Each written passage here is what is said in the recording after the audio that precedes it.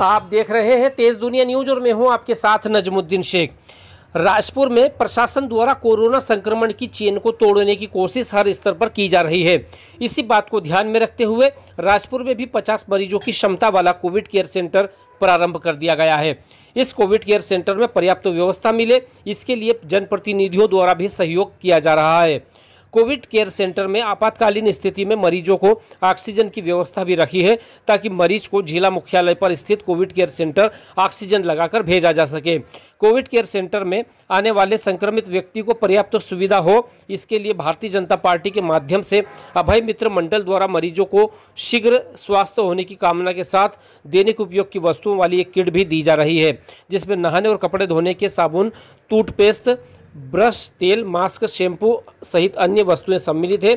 यह kit Covid care centre पर भर्ती होने के समय ही प्रत्येक मरीज़ को दी जाएगी। शनिवार को यह तैयार किट भाजपा जिला अध्यक्ष ओम सोनी और नगर परिषद उपाध्यक्ष अभय जैन ने अनुविभागीय अधिकारी वीर सिंह चौहान को सौंपा।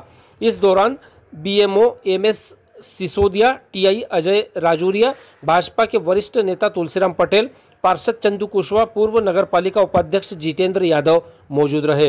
राजपुर से राहुल गुप्ता की रिपोर्ट।